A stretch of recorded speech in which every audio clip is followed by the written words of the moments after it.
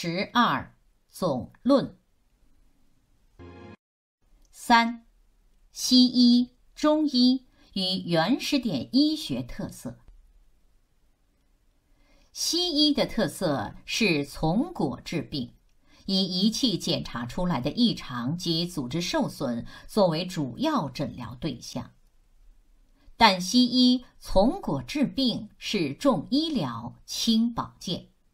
并从患处下手，如此虽可改变组织器官运作，达到快速解除异常及疾病症状的医疗目的，却忽略了从因可改善体质，达到自愈疾病及抗老增寿的保健效果。由于医疗离开保健，改善不了热能不足。所以，通过西药虽可暂时抑制症状，却难以疗愈疾病。又因从果处理患处，兼顾不了他处，所以通过手术固然有助于疗愈患处体伤所致之疾病，但未必有助于解除他处体伤所致之病症。况且手术及西药会严重破坏身体及消耗热能，对重病患者不仅难以治愈，甚至还会危及生命。综上所述，可见从果治病弊多于利，非治疗善法。这一段比较强调的是西医的治疗。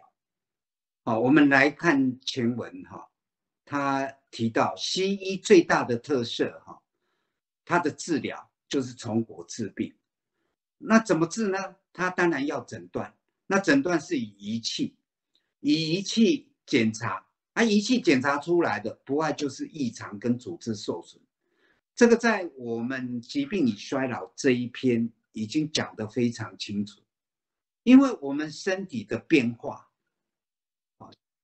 不外就是老跟病，那你从体表也可以看得出来哈，比如头发白、脸皮皱，哎，这个就是老嘛。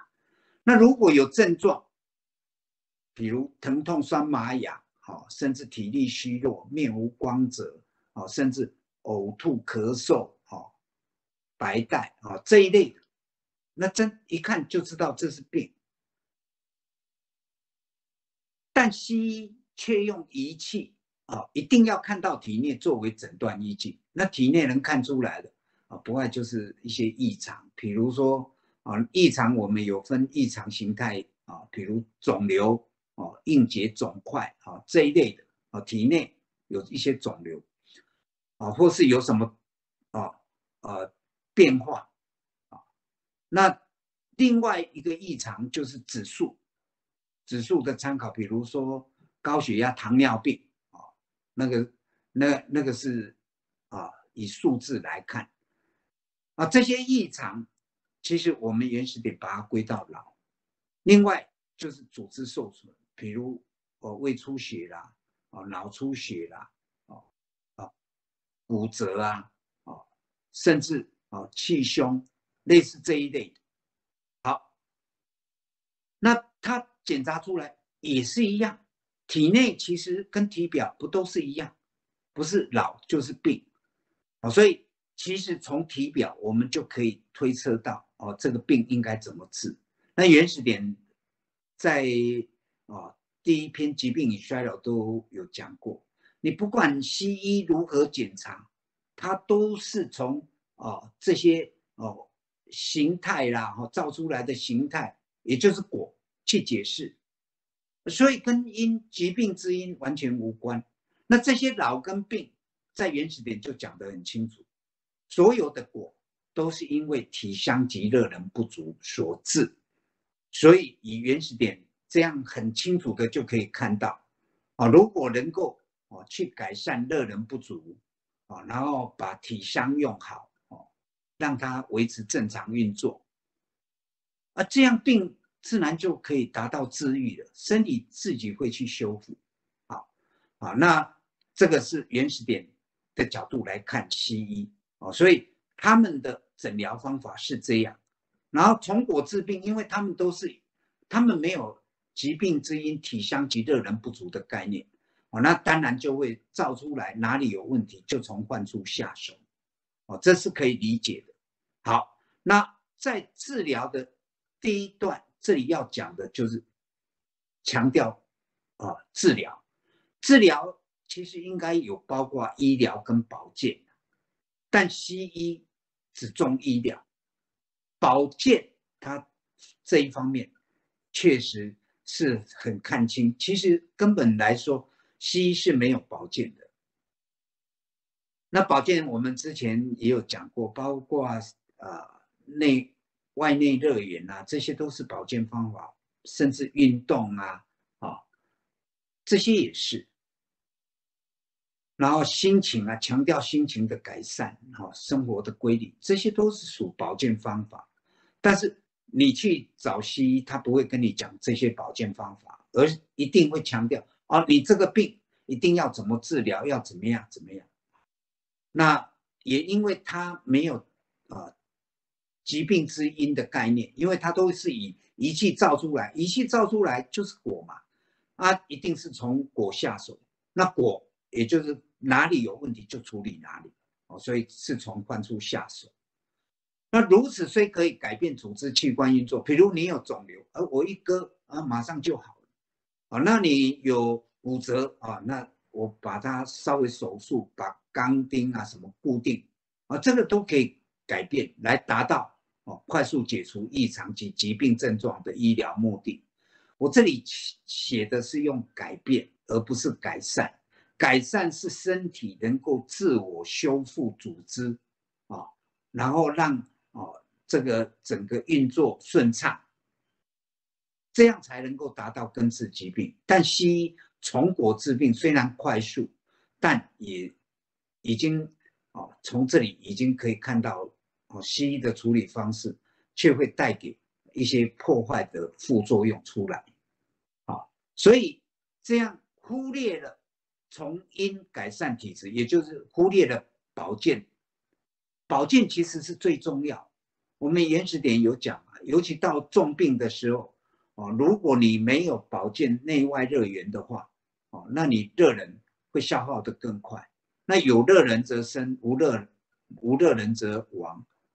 哦，从这里来看，所以为什么很多西医治疗虽然可以改善症状，但人。却体力越来越差了，哦，就是这样来。医疗如果没有保健，它会怎么样呢？它没办法改善热能不足，那没办法改善热能不足，身体吸收能力就会哦，因为热能是推动我们组织器官维持正常运作，所以你要正常运作才可以吸收哦这些，包括你吃西药哦，这些药效要发挥，还是要身体来。哦维持正常运作，那背后就是要靠热能来推动。那你没有了热能，如果身体虚了，它怎么吸收呢？哦，所以有些西药变成到最后没办法改善体质，它只能控制症状而已。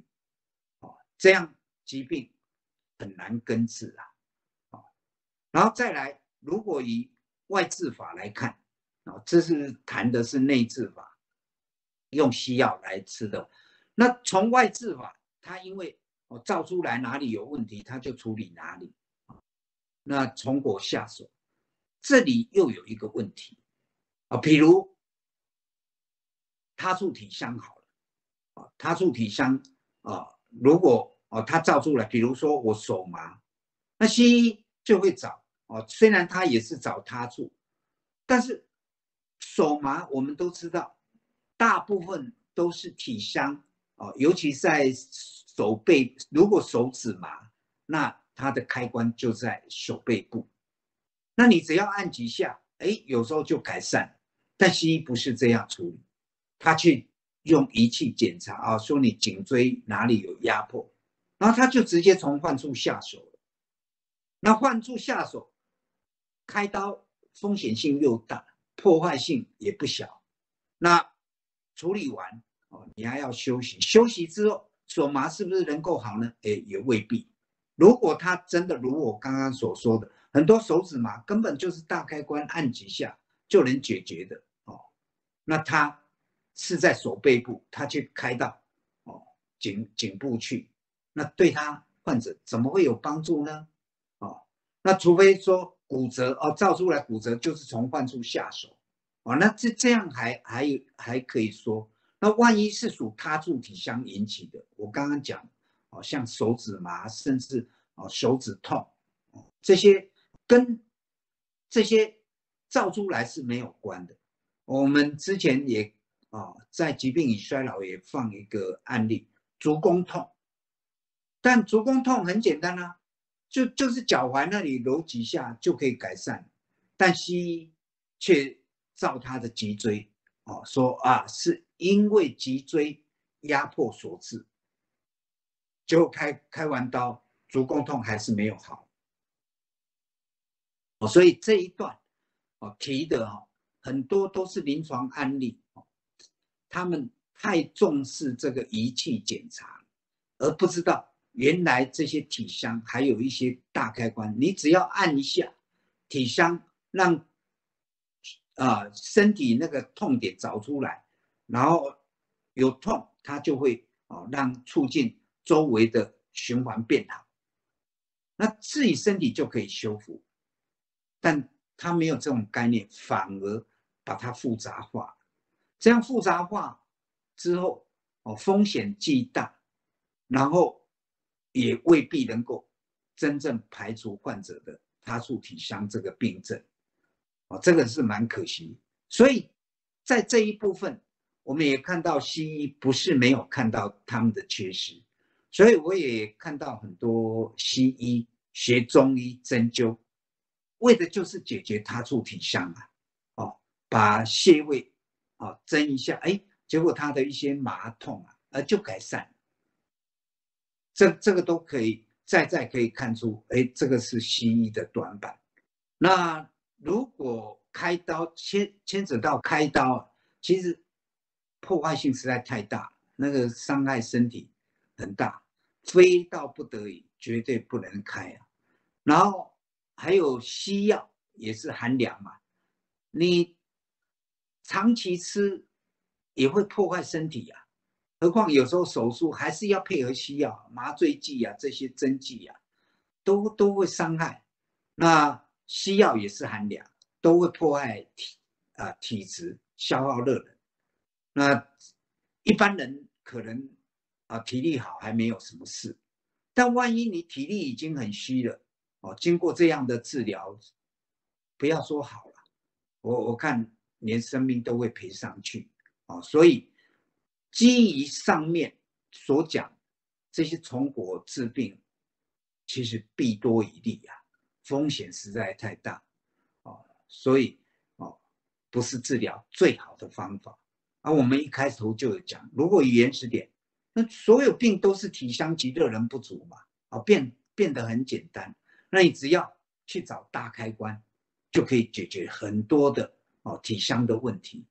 那如果再能懂得配合热热源，包括重病患者，他热能够，他也可以达到自我修复，啊，不只能够保命，还可以甚至疗愈疾病，啊，所以从这里来看，马上。我们就可以说，哎，这样看起来，啊，从果治病还是弊多于利，不像原始点是从因治病啊，所以它不是治疗最好的方法。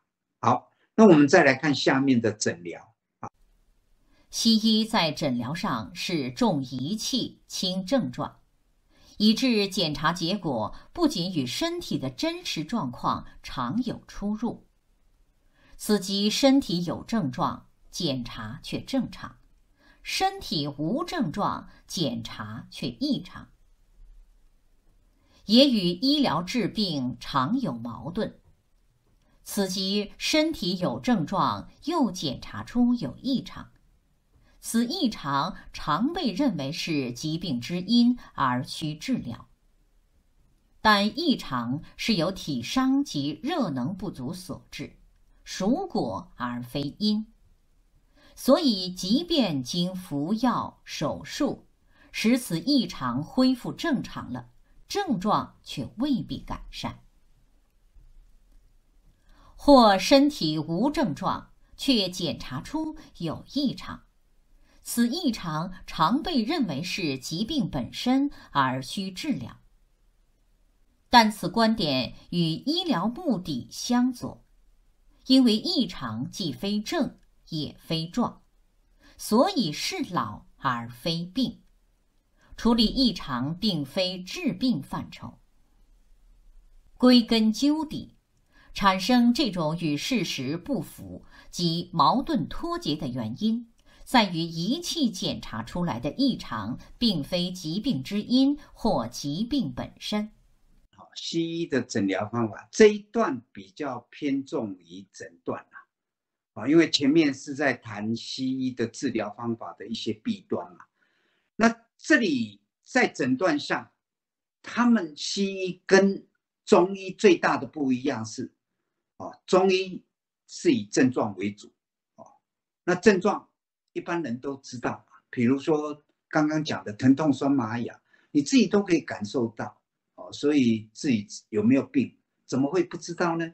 哦，如果像皮肤病啊、起疹子啊，哦，这这些一看就知道了，或褥疮，哦，已经都伤有伤口了，那这些状一眼就可以看得出来，那。这个就是病，但问题来了，西医他可不，他的这一套理论，他们是以仪器为主的，仪器造的才变成哦，他们诊断的依据。但问题就来了，这样检查的结果常跟身体的状况有出入的。我们这里就举了几个例子，啊啊，比如说身体有症状，啊去。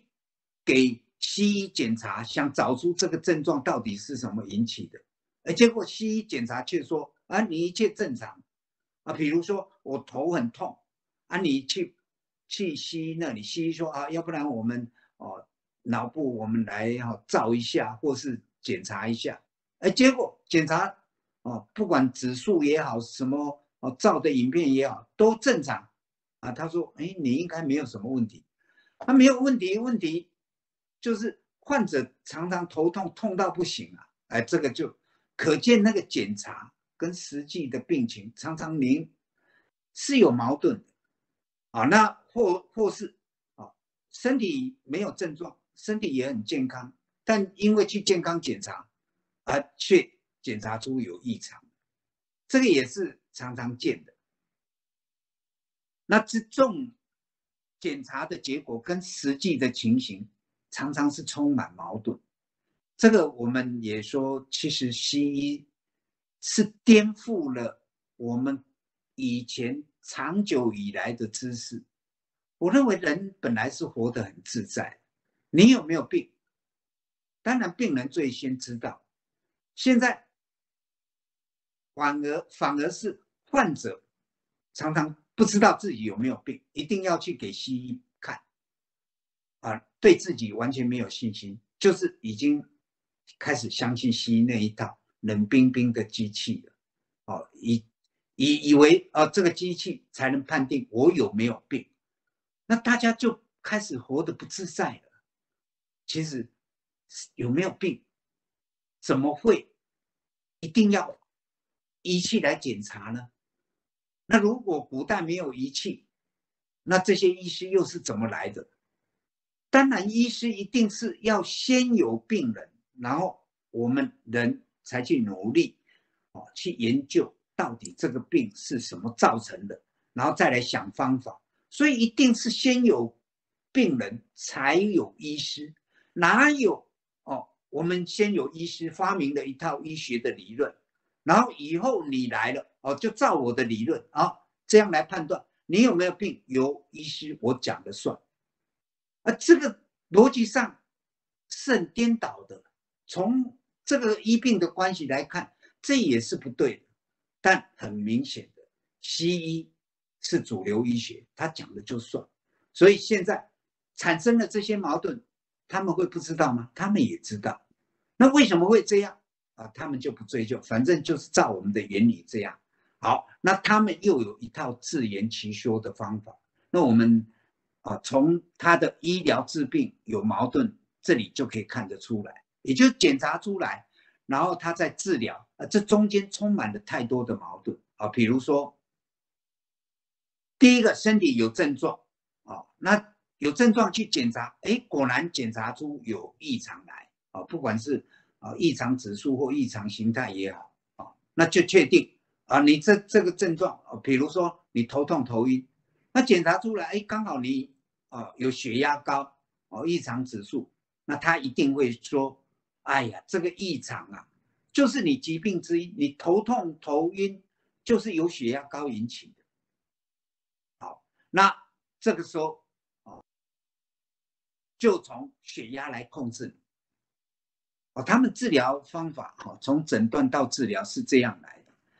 但我们也知道，那个检查出来的血压高是一个异常指数啊，啊，这这个指数哦，它根本是果嘛，不是因嘛，因是由体香及热能不足所致，包括血压高也是啊，那头痛头晕也是果啊，那果与果之间怎么会有因果关系？所以这个我们之前都有讲过，这个根本就是导果为因嘛，哦，啊，所以在这种情况下。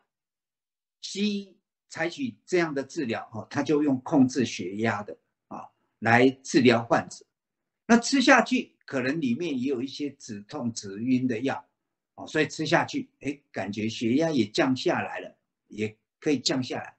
啊，头痛头晕啊，也可以暂时缓解。但药效过了呢，哎，它又来了。好，所以这样的反复对患者而言。是没有意义啊，只只是在控制你这些哦症症状，何况有些降血压要降下来，头痛头晕还是在啊，哦，所以这个哦，有时候他们即便哦服药，还有手术哦，比如说手术啊，检查出来啊关节变形啊，椎间盘突出啦，就像我刚刚讲，哎，也开刀，呃，结果症状没有办法改善，我刚刚讲。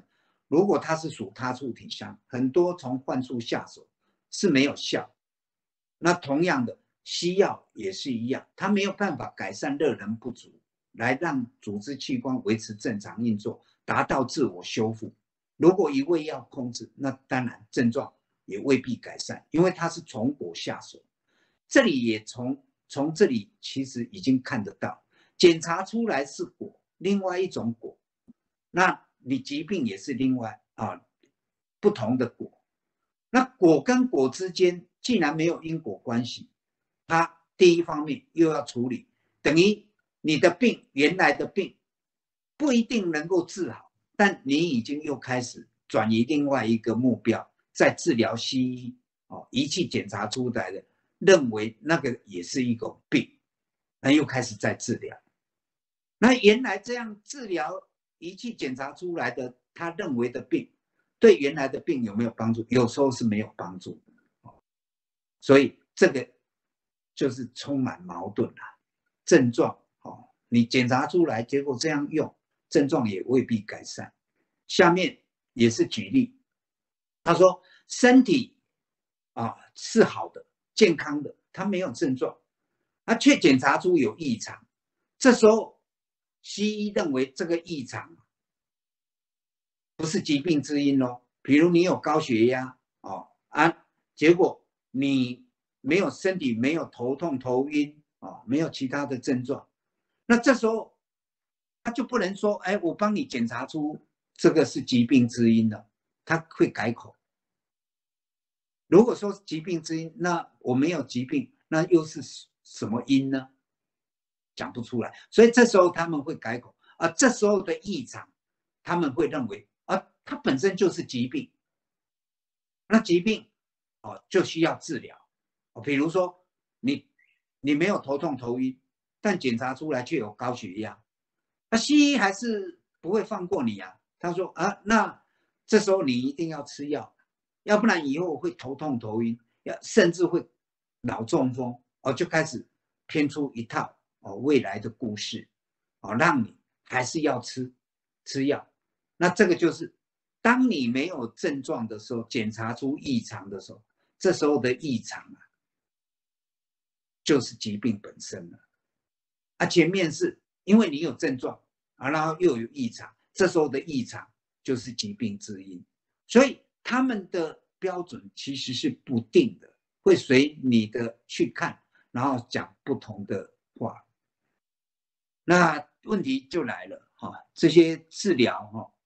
啊，如果他没有病，那没有病，只是检查出身体有异常，这些异常我们前面讲过，呃，是属衰老嘛？那跟医疗治病是哦有有违背的啊。这里我们就举嘛，异常它既非症也非状，所以它是老而非病，处理异常并非治病范畴。这个在疾病与衰老，我们也是这样讲。身体所有的变化，不是疾啊走向衰老，就是走向疾病。那至于两者怎么变呢？取决于症状之有无。如果他有症状，啊，他就是有病；如果没有症状，啊，不管是检查出来的或是怎么样，那那都不能称病。那身体的变化也好，哦，形态改变也好，那个只能说是衰老。标准是一样的，那同样的异啊异常指数，像高血压、糖尿病，它本身是根本没有症状，那怎么会是病呢？啊，所以从这个角度来讲，我们当然认为它是老。好，那从这里就看出来，医西医的目的，医疗的目的是要解决疾病哦，他们不是要解决衰老，他们也知道衰老是不能解决的，啊，这个跟原始点是不一样。不一样在哪里？原始点他认为，疾病也好，衰老也好，它都是由体伤及热能不足所致，都它的因都一样。所以你只要改善因了，哎，疾病不但会好，而且连那个衰老，它也有些都可以好起来，一样的哦。所以它可以同时治疗。原始点当然开始也是，如果自称为一个医学，它当然也是要解决疾病，但是在研究的过程中，却发现老跟病其实都是同出一源呐。只要那个源头改善，其实老病都可以改善啊。所以达可以哦，不止防治疾病，还可以达到哦抗老增寿的目的，也就是在此。那西医因为从一开始检查就出现了问题。他把老病哦都用仪器来检查啊，把它通通归于有问题啊。有时候说是疾病之因，有时候说是疾病本身啊，这些哦说法也不定啊。然后有时候跟实际情况又不能配合啊。之所以会会这样，总归一句，归根究底，产生这种与事实不符及矛盾脱节的原因。在于仪器检查出来的异常，并非疾病之因或疾病本身。简单讲，它跟疾病根本都没有关系啊！你他们说疾病之因也是有问题，说这个就是疾病也是有问题，那就是老嘛。啊，老要不要治？不需要治疗。你一个正常人，你怎么会去量血啊？如果你有什么不不舒服，你只要从体伤下手。就可以解决了，啊，所以啊，会有这些问题，就是诊断出了问题，他们医学自己啊偏了一哦这样的一套理论，然后叫人来适应这一套理论，跟以前中医是人生病了，患者也知道了，然后才来跑来找医生，那医生为了解决他的病。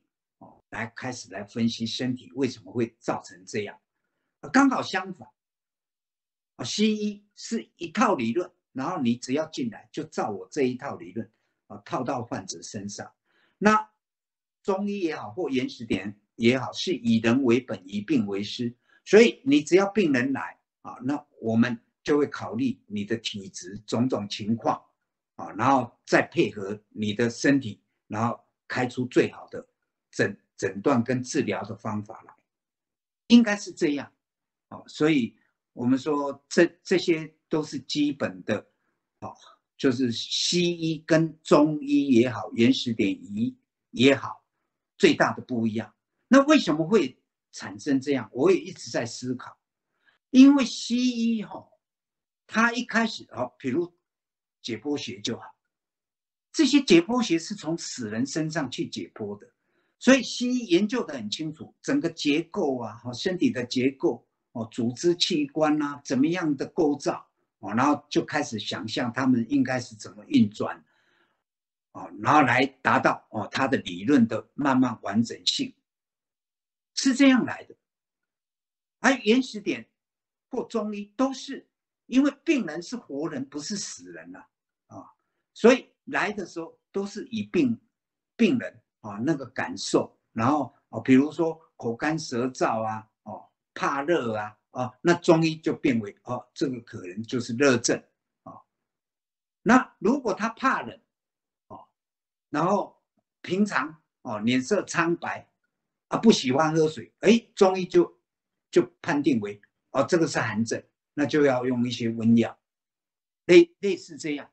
那原始点也是一样啊，是以病人来判断。比如说哦，我们原始点最大的特色就是啊，你哪里有痛，我们找开关，我们知道开关是在一条脊椎及脊柱，然后他哪里痛，我们就找就近的原始点来找他的压痛点。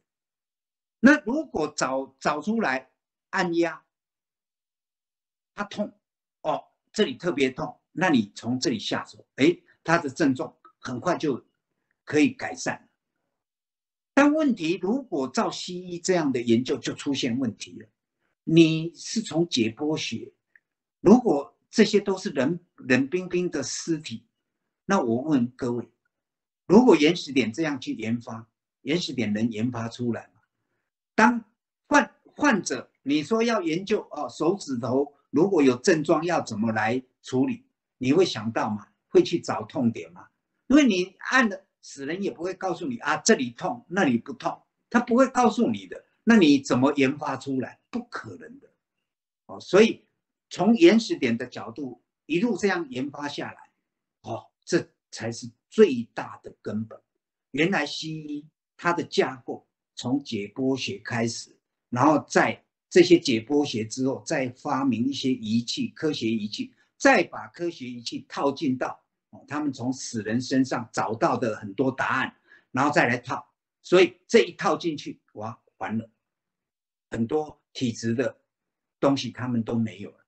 比如说在中医，你生产之后要要补叶子啊，做叶子的时候要吃补药。啊，西医可不管你的体质，他一定怎么样？你寒的也可以吃啊，水果汁也可以喝啊，哦，都都百无禁忌的。这个这个就是从活人跟死人身上，最后就会发展出不一样的说法来。那我认为最大的西医之所以会以仪器检测哦作为诊疗啊的依据，应该也是从他们哦。这一套理论开始从解剖一路来的，中医跟原始点，它的诊疗特色是在哪里？虽然中医与原始点医学的特色都是从因治病，以症状作为诊疗对象，但原始点是通过观察症状就可推断疾病之轻重及体伤位置。以决定按推与热源的治疗原则，遂使理论与临床能紧密结合，形成简易而有效的诊疗合一。此不同于中医是通过观察症状，外治法以经络理论决定穴位而给予针灸。内治法则以四诊心法分辨体质而给予中药，遂使中医针对外内治法形成两种不同的诊疗体系。在治疗上，中医是通过一针二灸三用药；原始点是按推与热源并用，相形之下，原始点通过按推其位置的压痛点，不仅可快速解除他处体伤，使疾病消弭于瞬间或无形，还可分辨已病或未病之体伤位置，使诊断与治疗能一步到位。通过热源之姜粉、姜粉泥或姜汤，既可大面积用于体表，又可机油灌肠、喷鼻、洗眼等用于体内，使热源直达体伤位置，直接温暖组织器官。所以两者并用，且配合其他保健方法。就可加强改善体伤及热能不足，从而达到无病可抗老增寿、预防疾病；有病可速愈疾病，使患者转危为安。此既不同中医针刺穴位，只能解除病症，也不同中医外热源之艾灸，虽可用于体伤位置。但因面积小及时间短，以致疗效受限，难以发挥。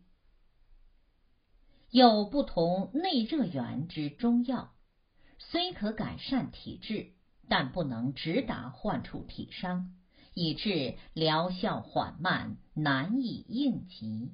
好，从开始再谈诊疗。好，那从。这里这一段开头就是说中医跟原始点的诊疗方法。啊，那他们的特色都是一样的，都是以症状为主嘛。啊，然后治疗方法是以从因治病。啊，那这里看似都一样，但是这里面还是有不一样，所以哦这里但。就是我们先谈原始点，原始点它也是通过观察症状，哦，中医也是通过观察症状。那原始点通过观察症状，马上就可以推断到底你疾病哦是轻还是重，哦，还有也可以哦从这样的观察就大致可以推断你体香的位置了那这样。可以看到疾病的轻重跟体香的位置，就能决定到底是要以按推为主，还是以热源为主。所以看完就能马上有一套哦哦一整套的治疗方案出来啊。这时候也就是我们的理论跟临床其实根本就是紧密结合在一起，哦，然后这样形成哦诊断跟治疗哦。是非常合一的，哦，这样非常简易，而且这个这个方法是非常有效，所以这里哈，我们就来细细的看一下哈，为什么通过观察症状就可推断疾病之轻重呢？然后这个在诊断与治疗这里有谈到，哦，只要病人体力虚弱，有这个情形出现。那我们就判断为重病。那重病的时候，我们处理上就应该是以热源为主，按推为辅。哦，那如果哎患者没有，呃，也就是体力都很好，没有什么问题，他只是身上有一些症状，那这个我们称为轻重症。那轻重症就以按推为主，热源为辅。那从观察症状也可以看出他体香位置哦，比如他一看他体力很好，比如我们举轻重症来讲，哦，先判定哦到底是重病还是轻重症，来决定热热源跟按推的哦最重要的治疗原则。那再更细一点哦，比如说要按推了，那怎么来辨体相位置啊？比如说他这一个人啊，比如说他感觉哦脚踝痛。或膝盖痛，那我们很简单了，我们就马上听完，我们是不是脑袋就以原始点？如果你有熏习过，马上一听哦，这是轻重症，它症状在哪里？那我们马上就可以找到大开关。那因为前面已经排除了这个，如果不是重病啊，那我们就可以安心的先帮他按推。那膝盖跟脚踝臀部原始痛点，你只要把它找出来按推一下哦，就可以立即改善哦。所以当你有这些概念，然后能分辨。重病跟轻重症，然后再来从重病或轻重症哦，他们的症状哦，到底体相位置在哪里哦？也就是我们原始原始痛点哦在哪里，可以找得到。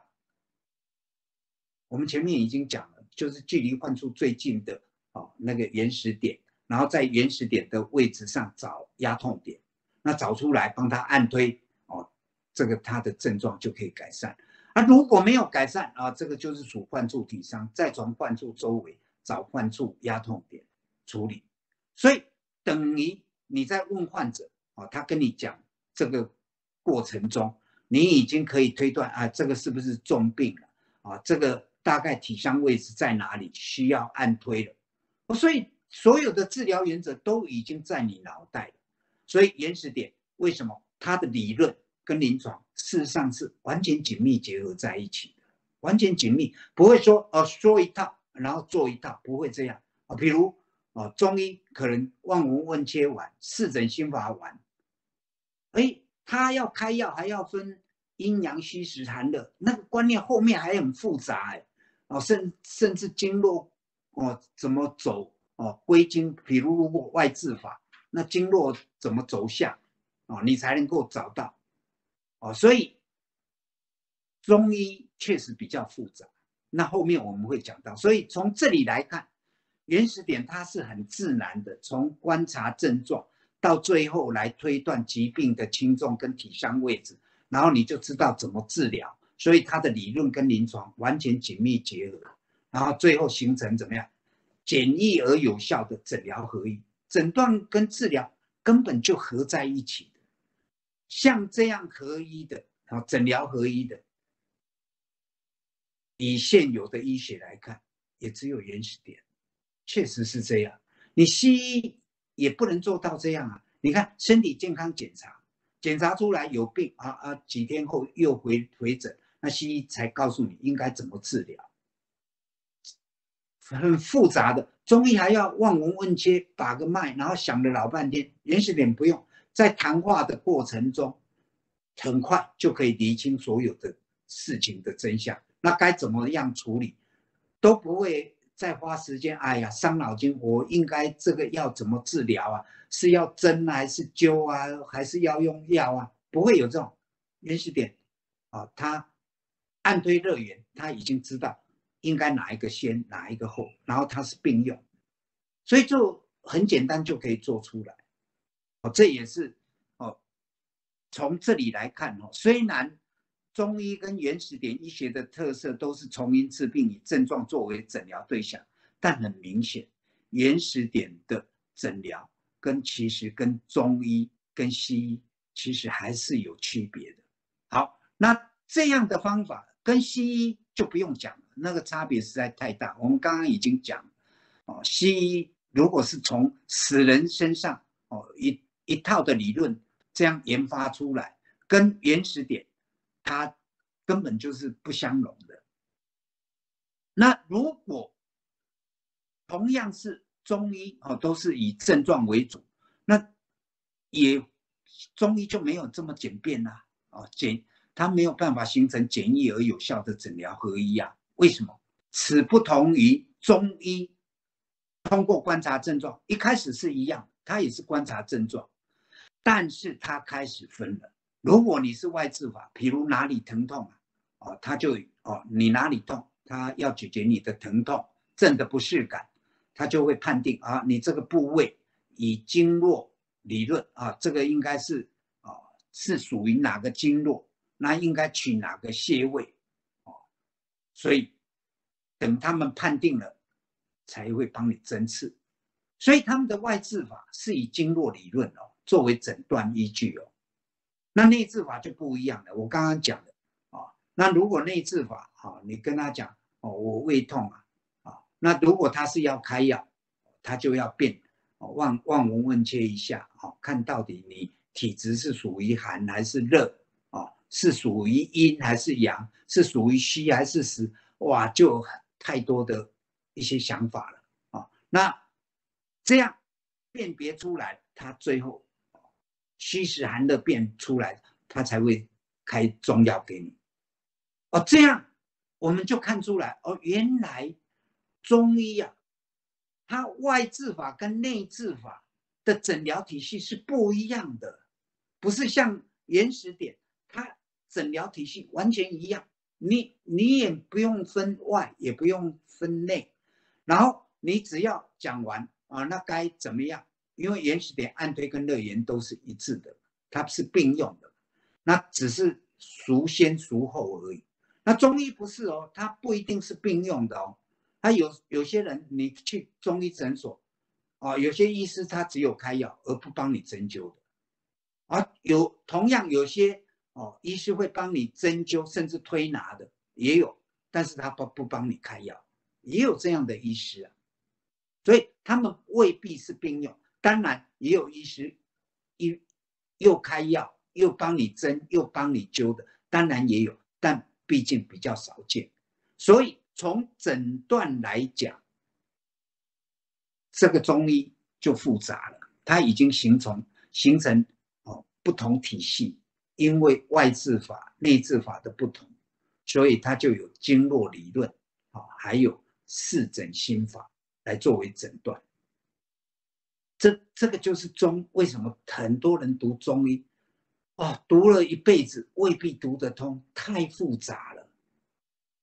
那至于哦，下面我们这里谈的是诊断，知道中医哦，它的诊疗体系原来是有两套啊，那也不像原始点哦，是诊疗合一的，那就更简便哦，也没有所谓的两套之说。好，那在治疗上，中医跟原始点。不一样的地方在哪里呢？哦，中医我们知道它的治疗方法是一针二灸三用药，啊，那原始点是按推与热炎并用。如果这么分吧，哈，针就是按推的话，啊，那这个哦就有一点类似了，哦，所以我们说原始点跟中医很多是相似，其实内涵又很大的不一样。好，那。原始点的按推如同针，那灸跟药如果把它算是热源的话，那就是外内热源那不就是跟原始点一样的吗？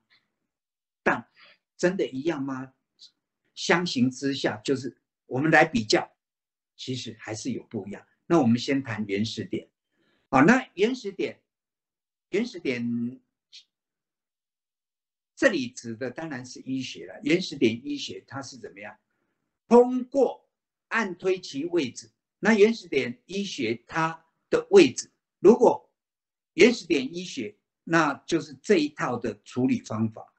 那如果狭隘的又可以指，而它是位置，那原始点的位置，你找到压痛点来按推的话，它可以达到怎么样？很快速的解除他素体香。你打把大开关，呃。大开关找出来，按一按，哎，很很多他素体香的疾病就马上可以哦，立即哦缓解了，啊，也可以让疾病消弭于无形。为什么呢？你即便没有病，好，那我们平常就一条脊椎及七术，找出压痛点。而如果有压痛点，那代表你有体香，只是现在疾病还没有出来而已。那我们哦，先把体香解决了，那不是治。治疾病于无形吗？这这个就是治胃病，也就是中医讲的上攻治胃病。那原始点，你看光这样找出哦，从原始点位置找出压痛点，这样一按推，就可以达到治已病、治胃病啊，然后又可以分辨体胃病跟乙病的体相位置，所以它的诊断跟治疗根本就是一步到位。你在按推的过程中，既知道哦哦，他的体香位置是在他处还是患处，哦，也可以知道胃病的体香，哦，可以马上处理。然后这些同时治疗，一步到位。好，那这里谈的是按推，我们刚刚讲的中原始点，它按推跟热源是并用。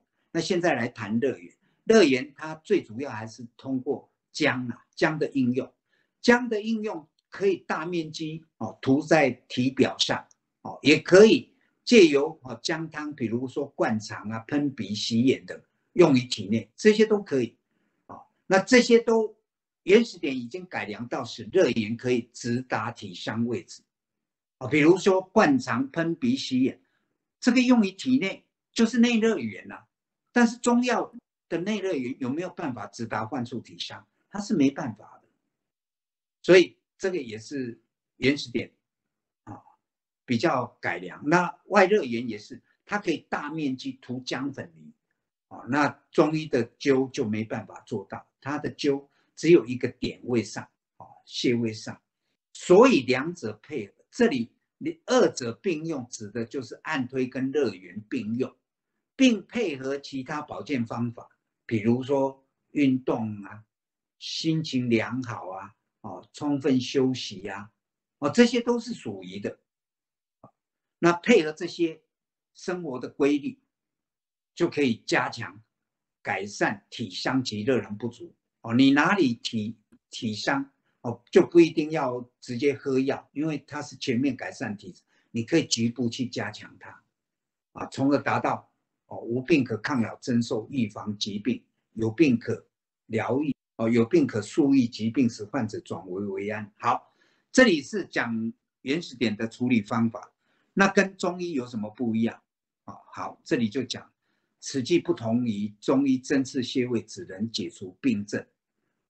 好，中医针刺穴位，当然它没有诊断的功能啊，它没有哦，不可能做到啊，诊断跟治疗合一，它不可能达到这样啊，而且。它也只能治已病哦，不能治未病哦。那原始点还可以达到治未病，这是两者最大的不一样。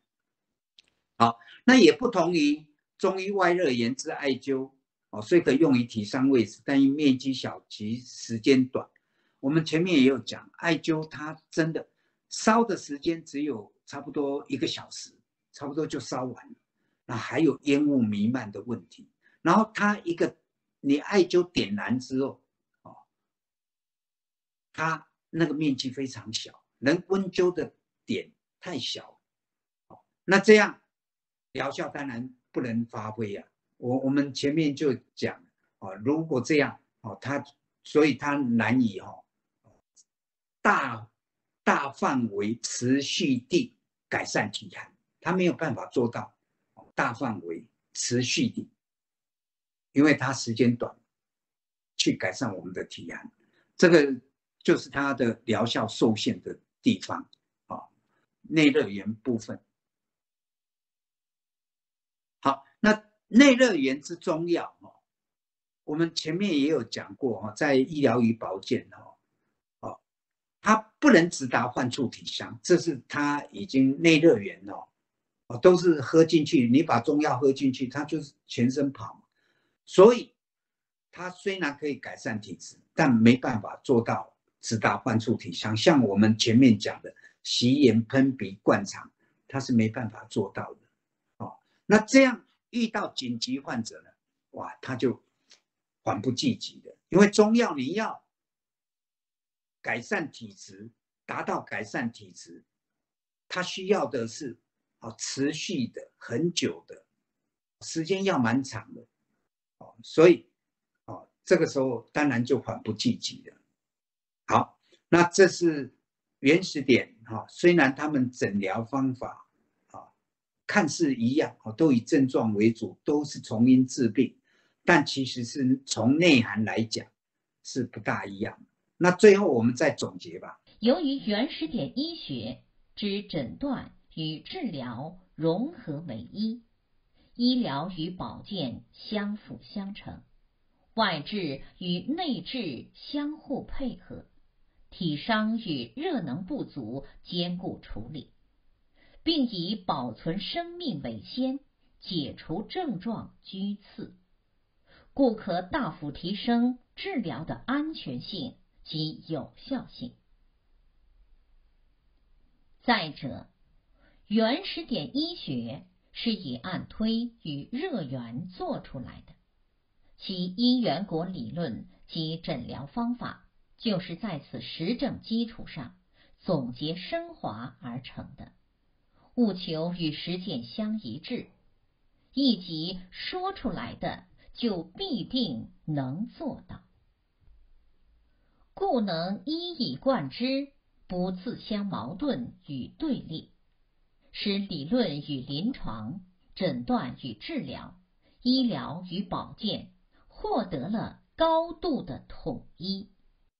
好，那前面也把西医的特色、诊疗的特色讲了，那再来也把中医跟原始点的特色做一个比较。那这里最后就是。整理出来原始点，哦，又跟这啊西医也好，中医也好，哦，很多是不一样的。那也是因为它的不一样，所以这里谈的它哪里不一样呢？就是诊断跟治疗融合为一。哦，前面我们已经讲过，医疗与保健指的当然就是按推跟热源，哦，这些相辅相成。那它外治跟内内治其实也是互相配合。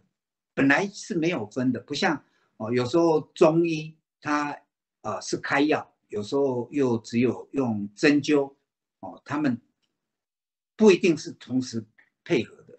那原始点一定是来，一定都是这样做，啊，所以不止可以兼顾到体伤，也可以处理到热能不足，啊，那这样做下来，因为原始点它比第一个诊诊断就是看你热能。够不够？也就是你体力，如果体力不好，就是重病。为什么？因为重病没有体力会有生命危险啊！啊，所以他在判断上都是以体力最最优先判断。患者来看，先看有没有体力。哦，所以他最后是以先以保命为主，其次才是解除症状。啊，所以当然最后的啊。就可以做到怎么样？它的治疗的安全性是最为要求的。然后也因为这样，哦，它从大开关怎么样哦下手啊？到底要先按推还是热源？它都有一套治疗准则，所以当然也可以提高它的有效性。好，这里哈，其实原始点哈，它跟别的医学最大的不一样，它是做出来的，不是读出来。不是先有一套理论，那人们才去研究这一套理论，然后再慢慢应用到患者身上，不是这样。原始点医学它就是一开始就是在人体找开关嘛，然后再懂得哦，最后哦发明各种乐园啊，然后来让按推跟热源同时来改善体伤的热能不足。哦，在这样的基础上做出了很多的患者出来，所以。他最后开始哦，要把这个过程中如实写写下来的时候，哦，他就是以因缘果的理论，还有他的诊断方法，就是到底我是怎么样来治疗的哦，这个整个讲现在哈，我们的一些哦像工业规范一样，SOP 一样哦，他就写出一套哦，他应该怎么做，他的程序怎么样去变。哦，所以他完全可以怎么样，在这样的基础上，自然能够怎么样，哦，做的跟实际的，哦，讲的跟做的是一致的，它中间不可能有冲突的，哦，所以也是因为这样哈，他的理论跟临床啊，诊断与治疗、医疗与保健，根本都是高度统一的。我们刚刚讲，从一开始原始点的理论跟临床就紧密结合在一起。然后形成简易而有效的诊疗合一啊，好，那医疗与保健，我们说按推与热源根根本就是并用的，啊，所以然后这之间哦彼此关系，诊断跟治疗、医疗与保健又紧密结合在一起，所以他们三者又是高度的统一，哦，不止理论跟临床的统一，诊断与治疗的统，呃，高度统一，医疗与保健不止这样，而是这三者，哦，包括理论、临床、诊诊疗，还有治疗，都其实是高度的统一，啊，这个原始点。哦才能做到我们说的化繁为简啊，哦，然后让民众能够很很快的把医学的精华学到位，然后就可以帮助其他人，哦，少掉很多学习的哦曲曲路啊。总之，原始点医学是一门安全而有效、简易而环保、非药物。又非侵入性的生活化医学，它诊疗合一，大爱为心，返璞归真，回归自然，离相探源，化繁为简，易学易用，便于普及。不仅可让民众掌握健康自主权，还可节约大量资源，降低医疗费用。减轻环境污染，为子孙后代留下一片净土，一条活路。这一段又是从上面的做一个总总和来讲吧。啊，它总体来讲，原始点它确实是一门呃最安全有效。什么？为什么安全呢？因为它也不是药物，也不是侵入性的，所以安全有效。然后又简单易懂，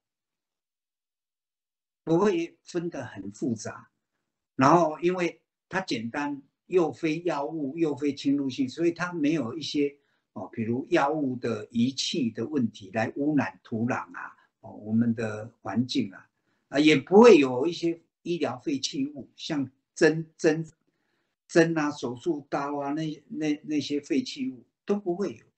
哦，所以它是完全都哦，比如说它应用的哦，比如姜也好啊，还有按推啊，这个也没什么废弃物，所以非常环保哦。所以而且这些热源的使用，包括灯罩啊，或是啊一些电热器、电热吹风机，种种都是在生活上都可以找得到。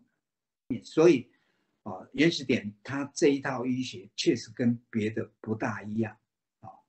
那为什么要做到这样？当然，我们前面也有讲过，在总论二的时候也有提到，它这么简化，然后做到生活化，就是要让所有的医学能够走出医院，然后进入家庭，落实于生活中。